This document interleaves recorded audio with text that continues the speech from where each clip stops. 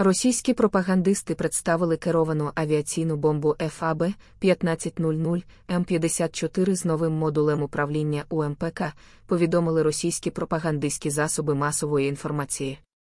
Під час демонстрації оборонно-промислового комплексу корпорації тактичної ракетної вооружене в Московській області делегація під керівництвом міністра оборони РФ Сергія Шойгу представила керовану авіаційну бомбу ФАБ 1500 М54. Ця авіабомба обладнана новою версією навісного модуля УМПК, спеціально розробленого для неї, який відповідає за збільшення дальності польоту та наведення за супутниковими координатами. Модуль УМПК 1500, зображений на фотографії, відрізняється від зразків інших серій для бомб калібру 250-500 і конструкцією. Його характеристики поліпшено за допомогою більших крил та нових алгоритмів для забезпечення високої дальності польоту при такій вазі.